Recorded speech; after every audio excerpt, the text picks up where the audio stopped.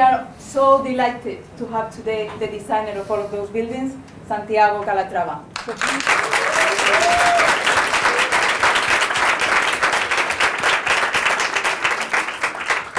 Santiago is with no doubt one of the most famous architects globally. He's the brains behind so many iconic buildings. More locally, he's the brains behind the Dubai Creek Tower. I know there are many towers in Dubai, but this one is meant to be the tallest building in the world. He's also the designer of the National Pavilion of the UAE, the, the Expo 2020 building. That is meant to, uh, probably more than 25 million visitors are going to be there. So actually, Micael is his son, and he is the one running all of the operations here in Dubai. So please join me in welcoming also Micael.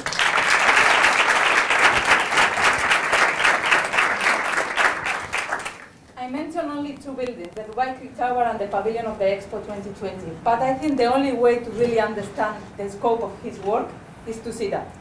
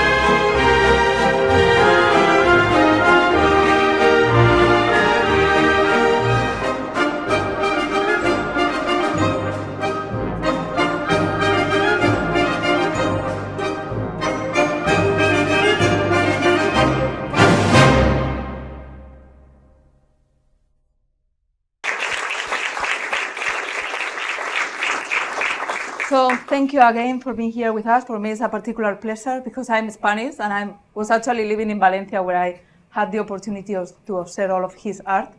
So thank you again, Santiago. How we would like to start this conversation is actually getting to know you a little bit better. So your first steps in your career, something in particular that you want to mention, your driving license or something. so yeah. Uh, well, you, because you spoke uh, about uh, Valencia, uh, but first of all, let me uh, mm, tell all of you how, how, much I admire the work you are doing worldwide. And uh, just um, three minutes ago, we was speaking about YouTube and what an extraordinary way, you know, to reach uh, things like, for example, Shostakovich. We hear now the valse of the suite jazz and uh, Wittgenstein, Mahler, whatever. It's extraordinary. It's really extraordinary. And what a high level. What a high level. Just to mention. So I think uh, it's really uh, very uh, uh, stimulating to be here. And it is for me and Micael a great honor to speak to you. Mm, now, coming back to your question, you see, I was born in Valencia and uh, I think I was uh, lucky to be born in, a, uh, in, in, circumstances where um, uh, art was appreciated. So people who will learn you, you can be also an artist, you know, and an artist is eventually, if you reach the level of Velázquez or Picasso, is something important. Yes. It is something that, um, uh, so uh, when you are a kid, then you I was sent it with uh, eight, uh, apparently because I was drawing the whole time to the school for arts and crafts, was in the neighborhood. So I could go during two years until they moved me into another school who was uh, uh, very serious and very hard, and so I couldn't dedicate uh, more, of my time uh, to the uh, drawing, just studying. And then uh, finally I decided to go back to the art school, so I went to Paris and at l'École des Beaux-Arts. And then what it happens is I chose the wrong year. It was 68, you know, for many of you. the school was destroyed when I arrived there. And then so I went back and I started again in the art school in Valencia, but I changed my mind. You know, I say, well, I got, I am coming out of six years of mathematics and all these things.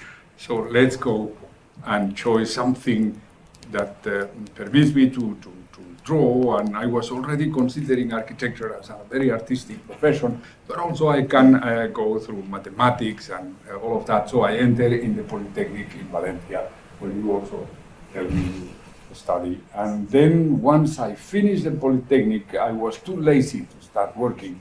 So I decided um, I should go and continue studying. So I moved into Switzerland, with which I was familiar because my mother sent me very, I, I, think I was 13 years old to learn French with a family of uh, originally from Geneva. And uh, um, so I went to Zurich without uh, very little knowledge of uh, German. I could say Guten Tag or things like that. and I studied, I entered in the Polytechnic, I studied civil engineer. And after eight years in the Polytechnic, was for me a transcendental uh, seven uh, to eight years in the Polytechnic, I finished with a a doctorate in, in more in, in, in a part of geometries and so. And then after that, I started working. This was a little bit the background of, of my career. Uh, um, Which was your first project? My first project was uh, uh, so I uh, I married when I was a student. My wife, she, my wife studied law in Zurich, and uh, we was both students married and I finished um, one year before my wife, and so I opened an office uh, without almost no work. And the first client became my, my colleague, the, the architect who maybe they wanted to, they, they had had a balcony to do, a canopy to do, uh, a, a bus shelter to do, uh, and things like that. And with the, uh, I cooperated with them, given the fact that I was an engineer, and also I could do, started doing some design and I went over into uh, doing the facades of, uh, always with colleagues, indeed. So I spent three, four years uh, uh working, uh, uh, sometimes alone, but mostly with others, which it was a good introduction because I could learn a lot of their experience, indeed. And also I started working in subjects that there was not too big, and uh, I could manage them. You see, in it uh, as a holistic uh, uh, story. You see, so uh, which it is very important because finally I learned that it is as difficult to design a chair as it is maybe a very large building. It is important that the scale doesn't play a role in terms of seeking for originality, innovation, or perfection. We were talking about this timing. So how is the creative process? Do you start with something simple like a sketch, or you get your motivation from YouTube? Yes, yes, yes. Uh, uh, look, you see, I, I, um, I mean, at the, in this moment, the computer was already there when I started, and indeed, I worked uh, once uh, in, a, in a project at the school, of, uh, a research project with a machine from a company called Evans and Sutherland, who still today fly simulators. And it was the first step in computer aided design, you know, where you, you, I made working with two other programmers, you see, and then they say, I want to do a square, and then I could put one square in the screen, then another one, and extrude it, you see, and then turn it, and things like that. Very simple thing. Until we design, uh, uh, we have done in 3D without hidden line. You see, we saw all the line uh, we put the houses of a village of Ticino, you know, very simple houses, you see, with roof like that, a bell tower, things like that. It was very interesting, but was also a very interesting experience for me because opened my mind to the fact what is from the mind to the paper. And the, even today, for me, the most direct way is the hand. So I keep still today sketching in the beginning of a project sketching as I have done when I was a kid and sketching as I have done when I started as an architect and as an engineer. So still today, I think this chemistry, you see, this internal chemistry of bringing things just with uh, even the force of the gesture uh, and all of that, you see, I think it is. Uh, so I started effectively with, uh, with uh, by drawing. We've been actually like a couple of minutes ago talking about the influence of, of technology in the creative process, and you were mentioning that it's something that it will never change, that still you have to feel the, the sound, how does it sound when you are in the station, and how does it sound the, the city. So thank you for sharing with us this information. So talking about the type of designs, many of your designs are bridges. Not the typical bridge that we see in the railway, but those beautiful bridges, like for example this one. What motivates you about designing yeah. bridges? Yeah. Uh, you see, uh, to, to say it in a very short manner, uh, historically, if you go to cities like Paris, London, Rome, or even Valencia, my home town, has five stone bridges. Um, you see, uh, bridges signify through the uh, history uh, very important buildings, you know, very important gestures in the middle of landscapes, in the middle of cities, and all of that. Then, uh, when I came out of school, bridges was very utilitarian oriented. Even our formation in the school, very much, you know, let's say, uh, mm, mm let's say, cost function related. And I asked me why this happened. And I arrived to the following conclusion. It is that in the post-war time, after the Second World War, practically all the bridges in Europe was destroyed, all the important bridges. And they needed to be uh, rebuilt in a very sharp manner. After that, in the 50s, there was a, an explosion of highways, and, and so during the 50s and 60s, and a whole culture of very simple bridges, you see, of uh, of supports, beams, supports, beams, and so on. So without any other care than bringing cars from one side to another, bringing people from one, uh, one side to another. So in this uh, uh contrast, I tell me there is something um, lost here. It is as we will not appreciate, let's say, museums, or we will not appreciate churches, or something like that. So the cathedral will not be there, isn't it? So finally, I uh, uh, started working with the pure vocabulary of engineering, which it is the statical system, arcs, um, uh, mast, cables, uh, beams, uh, um, girders, and things like that, not changing very much the vocabulary by itself, but just trying to combine those elements in a way that they can landmark the place.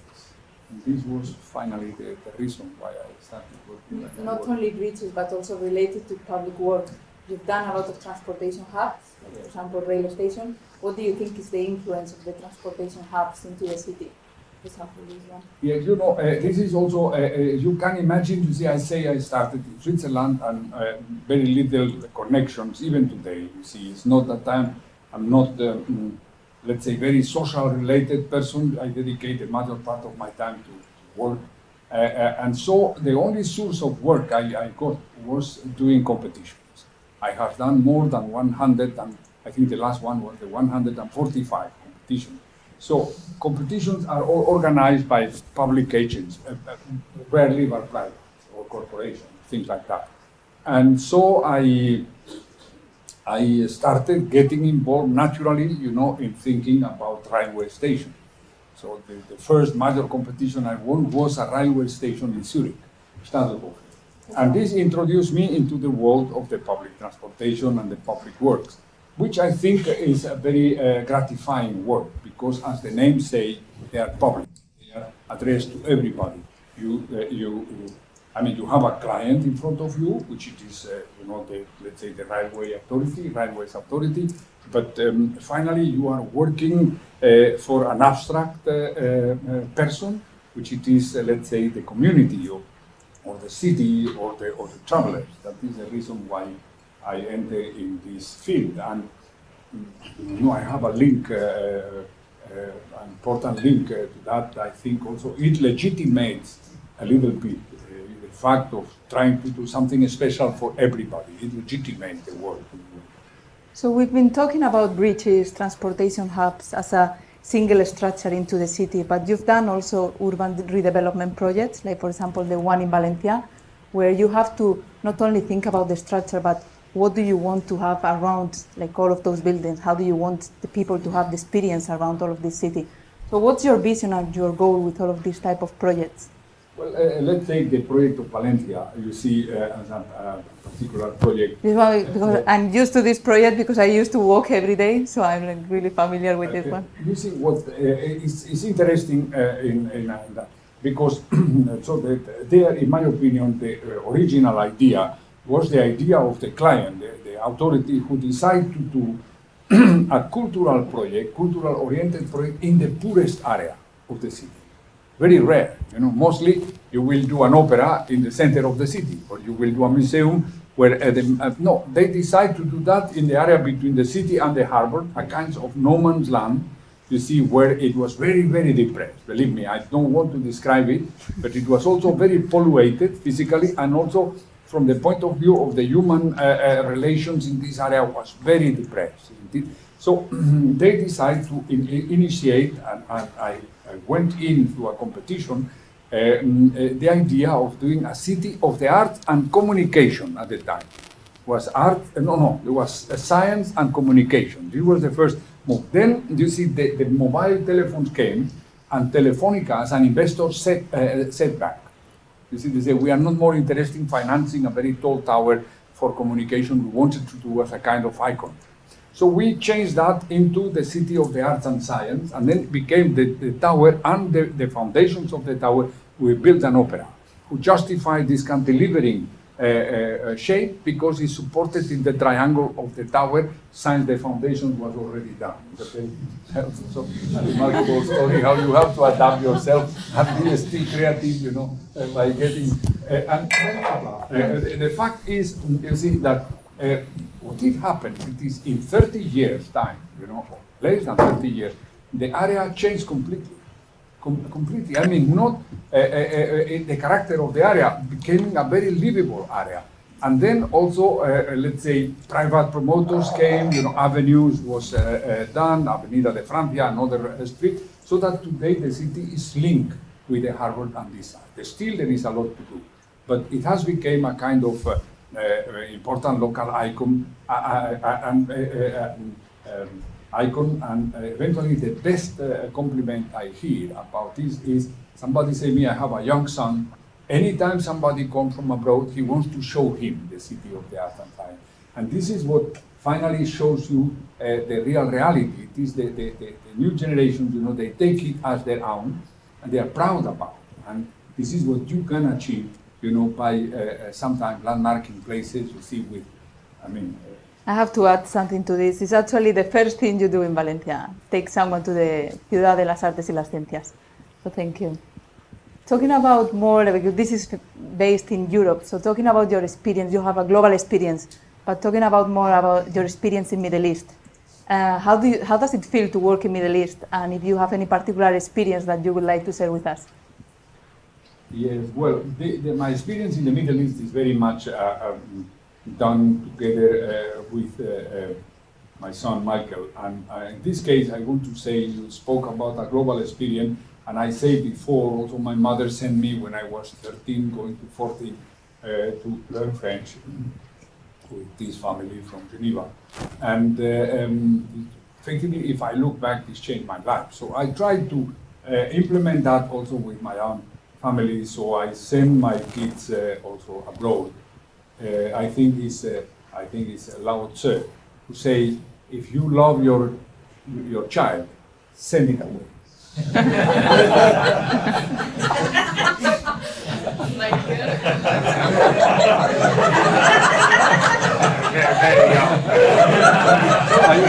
they, they got uh, really they got a real exposure. Uh, we, we moved from Zurich to Paris, so they, they was involved I mean, they went there in the primary school. I mean, the case of Micael. Then I sent them to, to Windsor in England. Then I sent them to Spain. They spent two years in Spain. But to add to that, he sent me away when I was very young. and then, but he was the one who asked me to come back and join him. And for two months, I said no. and then, and then, yeah, yeah. Then, then uh, you see, then um, each one of them, you see, decide to learn also a special language. So the eldest one uh, when uh, we, we saw a movie called The Hunt of the Red October, and coming Yeah. out, he said me, I would like to learn Russian. So I sent uh, him to Moscow, St. Petersburg, and so. and, and then, in the case of uh, Gabriel, uh, he wanted to learn Chinese. So uh, uh, we, uh, also very young, uh, I sent him to, to Singapore and then to Taiwan and then finally to Beijing. And in his case, uh, he said to me uh, prudently, I want to perfection the languages I know. He got- so he went to Italy, went to Sweden, uh, uh, and so. Oh, and and then when he I was have two- 16, two- uh, uh, two when he people was leading me, so. he came to the idea. He said, "I would like to learn Arabic." And then I said, That was the "How only can-" left. Yeah, Someone yeah. told you Russian, Chinese, Yeah, exactly. they already know he English, was looking- Spanish. So I sent, uh, uh, uh, uh, or he was sent it to, to, to, to Kuwait, to the Spanish ambassador, because I didn't know. No, first to Syria, to the house of a doctor, a doctor who studied with my brother in uh, the medicine faculty in Valencia. We was uh, good related to him, and then uh, then uh, he went to, to Kuwait, to Qatar, to Dubai, and, and to uh, also going to Al Cairo. Uh, so he was familiar, and I think that is very important. He was familiar with this part. Once I got involved in the project of the Doha Bay crossing, uh, I thought Micael uh, could help me. I asked him, and he said what he says. Before he was working in the finance, he studied engineering, and uh, um, studied after that, uh, make an MBA, and was working in the finance. Uh, uh, and he said no, and then after a while, I convinced him to, to join me, and he moves to Qatar, open an office there, and he is now uh, in this part of the world, in Dubai with an office also here, and uh, since six and a half, almost seven years.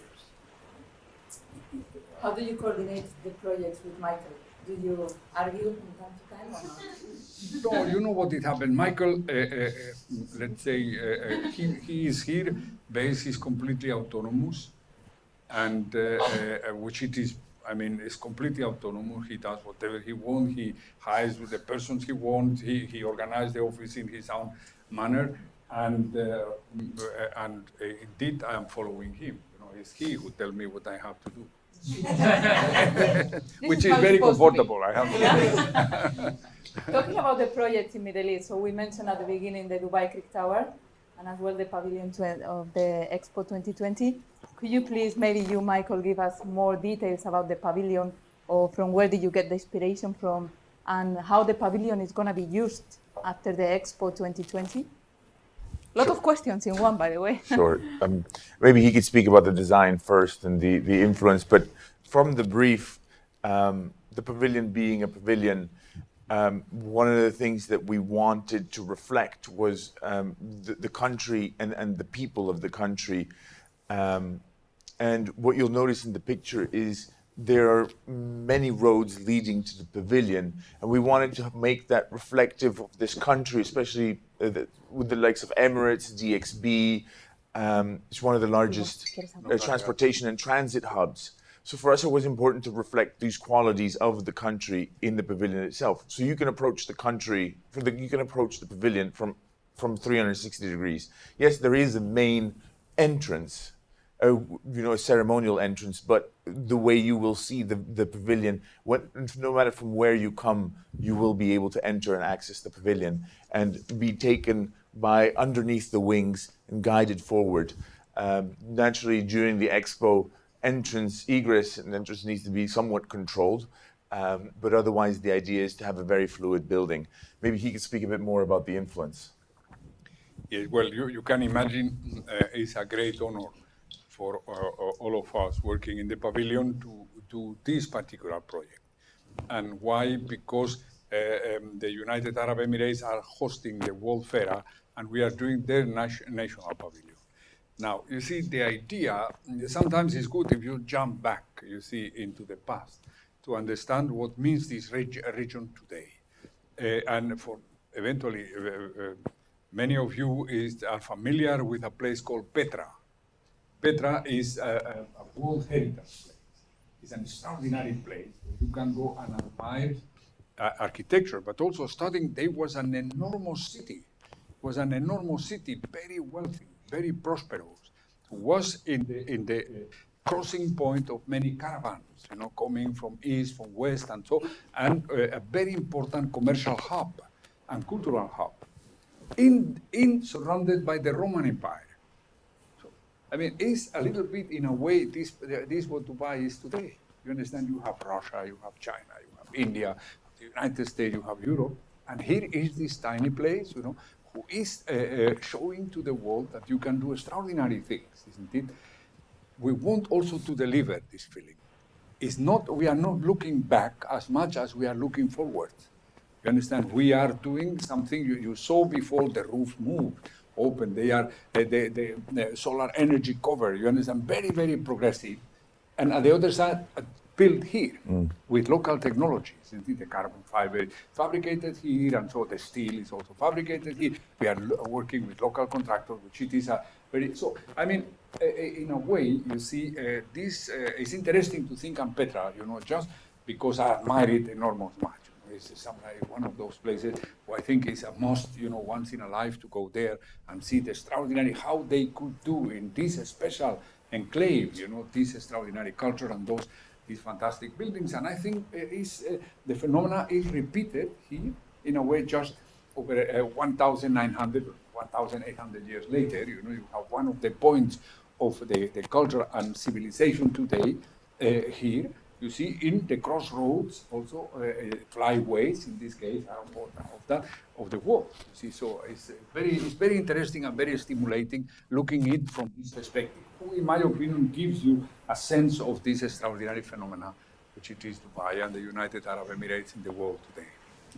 How would you like this building to be used after the Expo 2020? Like, for example, if you think about the Eiffel Tower, was built for one of the expos. How do you think this building is going to be used after?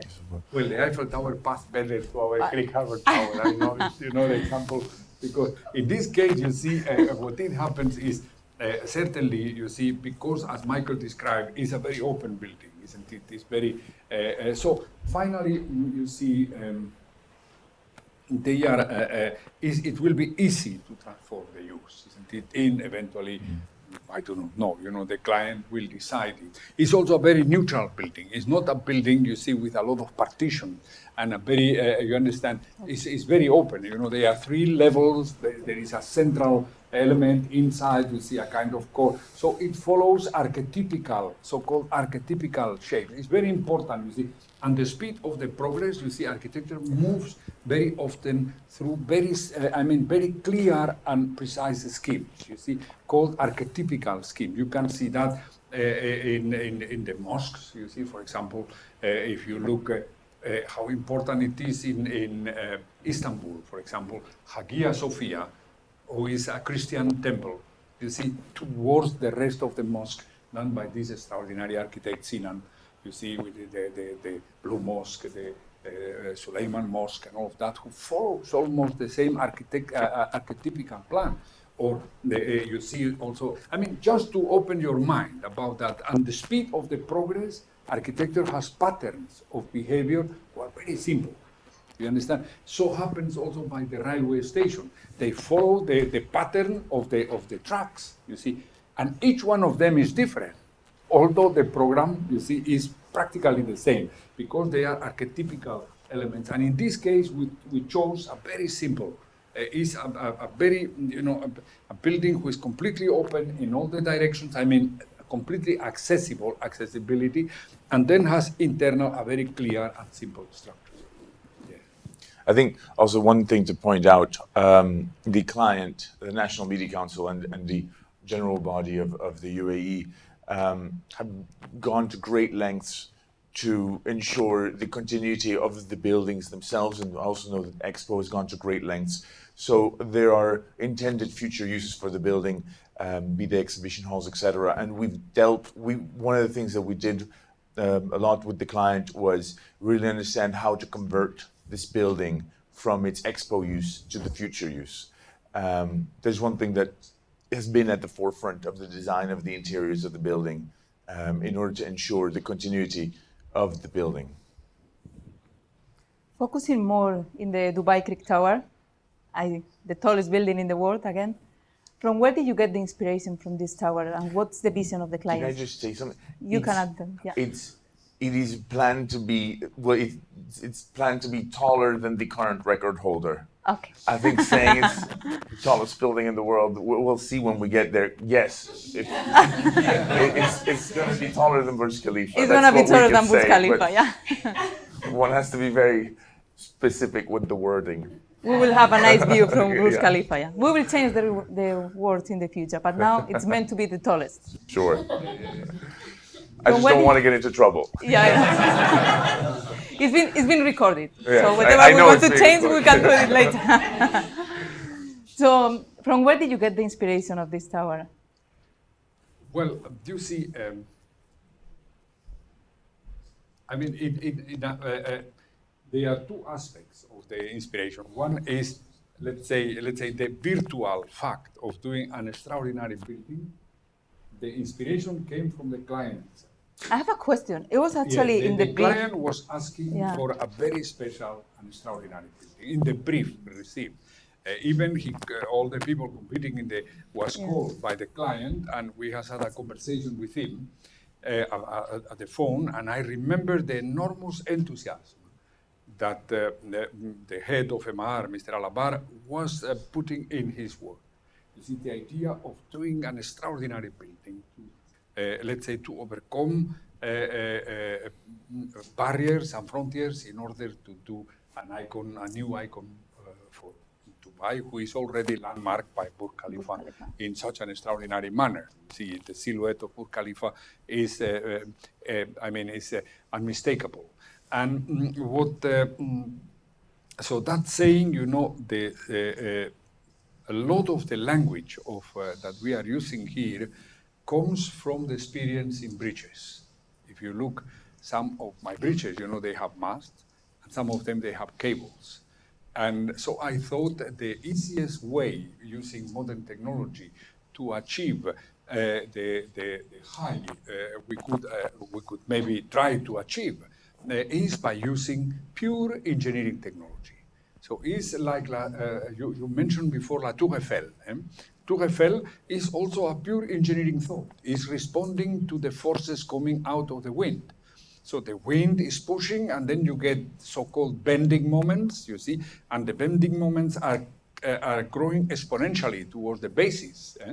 and uh, and because that the basis also became larger. You see, so it's a very simple but a very significant idea who, uh, who uh, uh, is also very natural. It's also like, like the basis of a tree. You see, it's also wider and uh, powerful, and then it goes thinner and thinner going up. And the same thing happens also in our tower. Uh, the only thing it is, in order to spread those forces very far apart, we use cables. And uh, this is a little bit the reasonement. It's not, um, but uh, I underline so much the enthusiasm of uh, my client because I believe there is not a great building in the world without a great client, whatever. Because you see, the, I mean, in a way, the rule of an architect that is also. Uh, I want to just make a. Uh, you see, I, I see my own uh, work a, a, little bit like following the so-called see, since YouTube it can go so high in the level, I want also to rise up the, as much as I can the level of this conversation. It is the Socratic method. And Socrates used to say, I do like my mother. The mother of Socrates was called Sophrona, and she was a midwife. So she helped kids come to the world. So indeed, pregnant with the project is somebody else. And the only thing you, you do is help him to, that, that this project becomes a reality. Do you understand? So it's very important to get vibration, you know, coming out of the person who is getting to you, or the place where the thing, where this thing needs to be done. So to build in Dubai is not a joke, because we are confronted to the other icons here. Do you understand? To build here and to be here as an architect or an engineer is a real challenge. You understand? You can do that very easy, but if you really take the challenge, I tell you, it's one of the most challenging places in the world today to do something, just because you are confronted to those facts, you see, of our time. And so finally, uh, uh, I think all this uh, of the of this conjunction, you know, we came with this project. You were mentioning the challenge. Is this one of the most challenged buildings or designs you have ever done? This- maybe you can. For, from an engineering perspective, it's quite interesting um, dealing with the daily mm, kind of problems that we're facing. Um, when you go tall, we we haven't invented tall buildings, and and surely somebody will go taller one day. Um, but what's very important is to note that from a challenge perspective, we're taking everything to to, to the extreme of what is currently available. And we're challenging the industry as much as the industry is challenging us. Um, what's interesting is every everyday normal issues get amplified um, to the extreme in our building, and and either it's really useful or really harmful, or not harmful but works against you. For example, um, earthquake loads. Um, we're in a semi-seismic area here. And um, the earthquake vibrations have not so much of an impact to our building because our normal frequencies of our building are very different to, to the frequencies of the earthquake. So much shallower buildings have a greater, suffer more greatly than, than we do in our building. So we can count that as a benefit. However, as you go up, the wind loads become exaggerated. See, in horizontal structure, you're fighting directly against gravity, bridges, because gravity wants to pull it down. In vertical structures, you're mostly fighting against wind loads. And so we find that um, our wind load calculations when we were do- doing, because um, we have to follow codes and regulations, and at some point, some codes stop and then they just start extrapolating. And they're like, well, for this height, this applies. So you just go higher and you apply the same line. So we ended up applying at the top of our tower, we ended up applying wind loads that have never been recorded ever in the world anywhere. so uh, we were like, all right, how do we how do we design for this? Um, also, things like elevators. Um, you think of an elevator being having been, you know, this, this safe elevator having been invented by Otis, etc. Um, we now are in the issue of the cable that carries the cab doesn't just weigh once, twice, or three times as heavy, is not just as heavy as the, as the cab itself. We're dealing with cables that are 20 times as heavy as the cab. And the length at which we are and the sway of the building causes, um, if you calculate it, the cable to hit the side of the elevator shaft, either damaging the shaft or damaging the cable. So as you push these things to, to, to their maximum nowadays, uh, you encounter things that you would think just rudimentary. Let's install an elevator, let's install cables. Uh, all those simple things that we take for granted start becoming issues. Uh, so that's those are the interesting parts. So we're dealing with the industry and, and coming up with new ways and, and interacting with them and how to solve these problems. Related to those buildings, as as you mentioned before, requires the use of modern technology. How do you keep up with advancement in new technologies and new materials? Like now you are designing something that probably is going to be finished in X years. How do you keep up with all of the new materials and new things coming up? Sure. So, so there's, there's two aspects to this. Um, number one is what is able to be sourced and delivered locally. And we have a grand benefit of, of in the UAE there being not just um, a wealth of materials and a high quality of materials. For example, in our uh, pavilion, the carbon fiber that we're using for the roof uh, is sourced across the street from the expo site. So that's and we we first, one of the first things we do is figure out what um, basic technologies, i.e., concrete, steel, what is available locally, what is the construction industry most comfortable with? And so when we found out that there was carbon fiber in plenty and in an extremely high quality across the street, uh, we changed most of the design in order to fit that. Um, from a high technology perspective, again, the global industry knows that to work in the UAE is, is, is challenging in terms of technical achievements and technical advancements. So when the, the individuals, the contractors, the specialists come to deliver their product, we're really dealing with the the absolute best of the best, and we're able to source globally those the, the, from each individual industry. So our conversation with the advancements in technology and the advancements in building materials is at the forefront and is a global conversation. And we, our job is to um, adapt our design, adapt our methods, adapt everything that we do in order to fit the the the kind of the, the top of that technology into our building and ensure that we're really building the most advanced building we can. So the conversation is two ways. Maybe I want to add, because I think uh, mm, the question is also interesting, related to other, um, um, let's say, science, you know, computer science. You see, uh, the way how the construction uh, uh technology uh, moves is a bit different, although it has whatever a step is given, has an enormous transcendence. For example, getting from cast steel into, or cast iron, who is breakable, you know, to more ductile uh, structures. You see, like steel moves into the high scrapers. You see, it's not a joke. You understand? You can immediately go much higher just by this change. Those changes happen, uh, let's say, um, from time to time. You know, it's like bolting, screwing, or welding. You see, uh, um, you see you see that eventually those very very extreme situations you see much more today in the aerospatial industry or into uh, in the uh, um, um, military industry, let's say. You understand? In the construction industry, moves much slower. That is one point. So it means, you know, that, that is important. When the people built Hagia Sophia in Istanbul, you see, around 1,700 years ago, it was like sending a man to Mars today. Do you understand what I mean? They was really, the architecture was really in the top of the, of, uh, and you know, they have done that in an extraordinary way because and the speed of the earthquake, Hagia Sophia and the vault, so the vaults of Sinan are still there.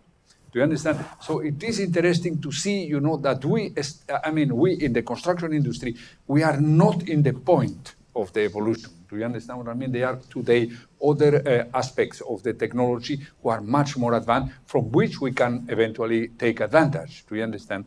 Uh, but it is important uh, to, to see it like that. And I think Mike, Micael described it very good because we are not using extraordinary techniques. We are just pushing the existing technique to a limit where they have not yet been terms of the length of the cable, the weight, the relation, and the movement, and so. And what it is also interesting it is that those uh, companies, you know, who are top companies worldwide, they are responding very positively. They are enthusiastic to go towards uh, this uh, new challenge, which it, it, it, means, you know, we are in a very fruitful uh, uh, uh, field, and also that for, for many companies, they see Dubai is a place to do this kind of thing.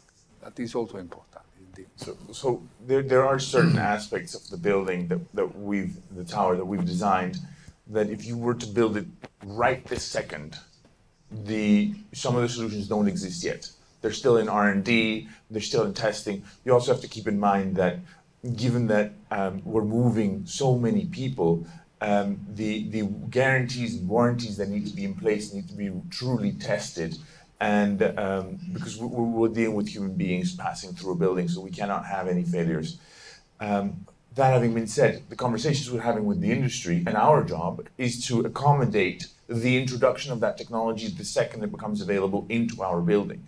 So what we're doing is we're designing certain elements to be able to accommodate one, two, or three different different iterations of a solution that we need. And so what happens is that spurs on the industry to really accelerate their R&D, knowing that they have somewhere to place it immediately once it's set. So it's a two-way conversation where we provide the platform and we provide the platform in such a way where it's a, a, very easy integration and so the conversations start at the very beginning and are, are plentiful and very fruitful for us to be able to integrate some of these technologies immediately. Also with the latest concern about climate change and sustainability, how do you think architecture is going to help preserve all of those things into the cities? and especially, for example, this building. Did you take into consideration those things before designing that? Yes. So we can speak both about this. There's there's a, a few buildings. Uh, the Pavilion building um, is LEED Platinum rated. It's an extremely green building, and that was one of the goals that was set from the onset by the client.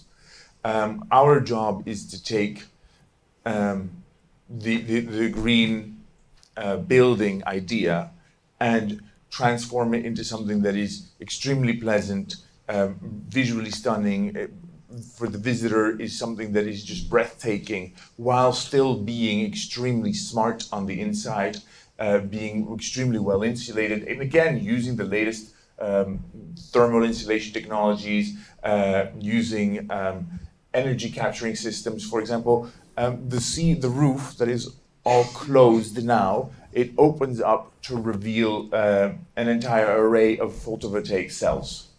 So we're incorporating, and when we have conversations with the industry that provides photovoltaic cells, we we scour the world to find the most efficient, um, the, the most suitable for the building, for the environment. So we go through months of, of research and conversations with the specific technological industries to try to see where are we at in this technology, where are we going to be, how do we integrate this.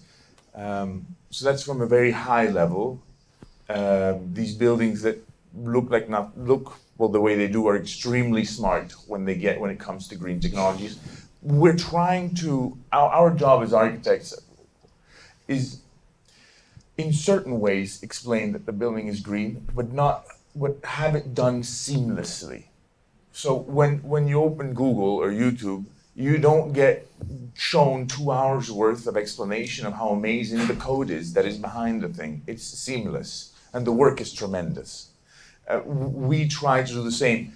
That having been said, there are many instances, especially when you're dealing with museums. Maybe we can show the Museum de Amanhã in, in uh, Rio, where we integrate uh, ecological solutions into the architecture in a way that is very visible in order to educate the people. And those are very simple aspects.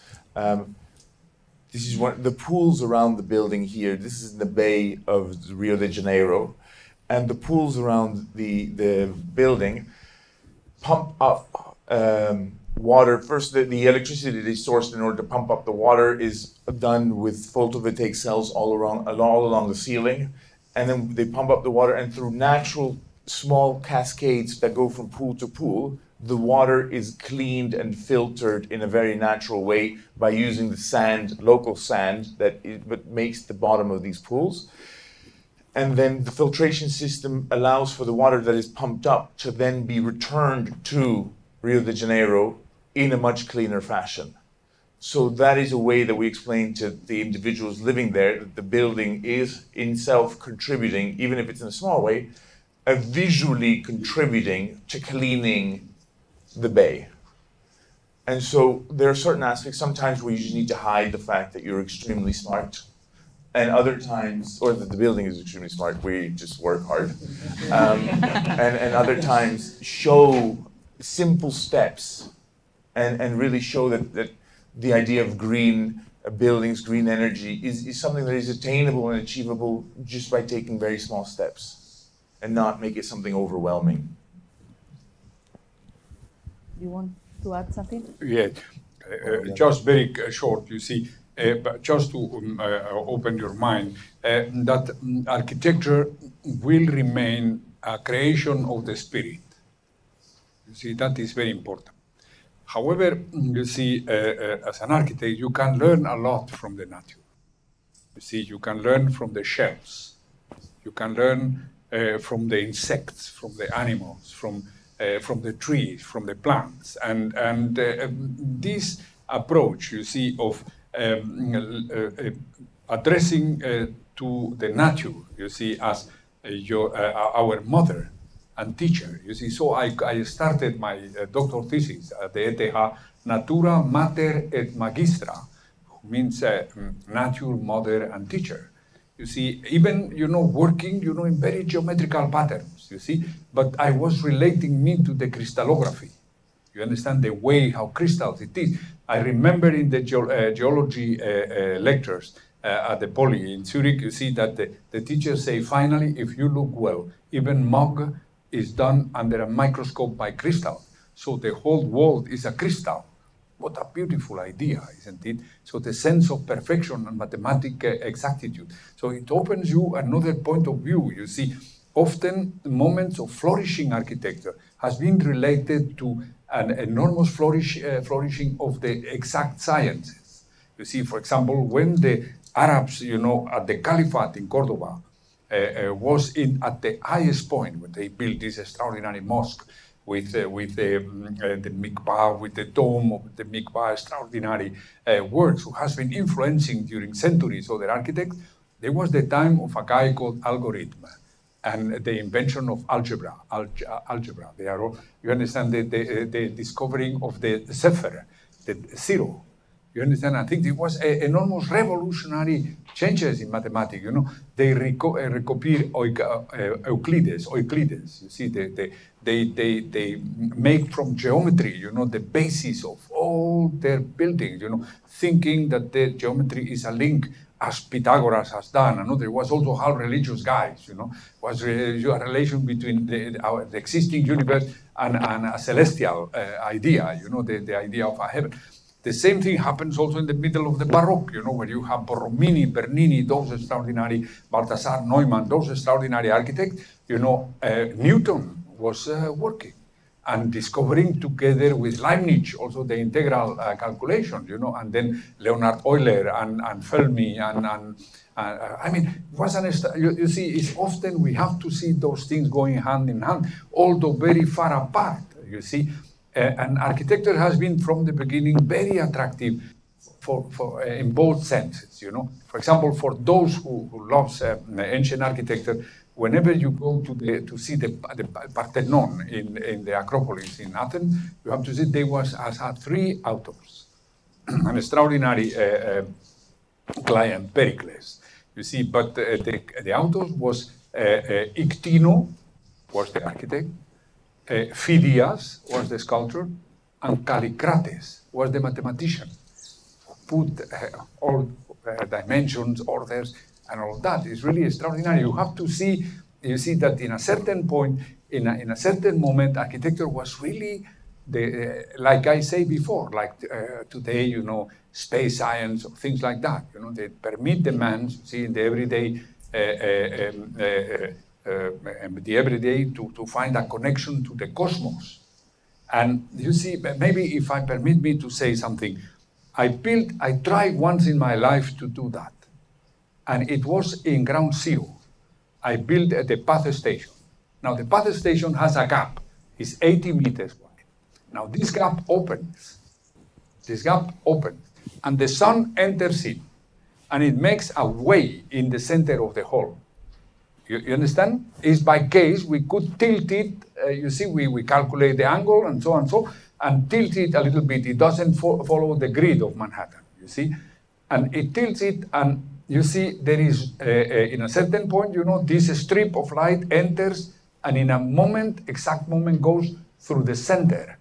Now it happens twice a year, the 29th of March and the 11th of September at 9.29, which it is the moment in which the second tower collapses. So the building can embody in a silent way, you know, the memory of the facts, you know, and all those things can be architecture, you know. It's very important for me to open your mind more from your way, you know, of the exact science of the computer and so to see and from now on to read the buildings in another way, you see, or try to read them. Because, um, and it, it match with the question of ecology, architecture will remain always an artificial fact, a, a pure creation of the human spirit, but can learn a lot about nature. And this is, in my opinion, the future goes very much in that direction. Thank you very much. Thank you.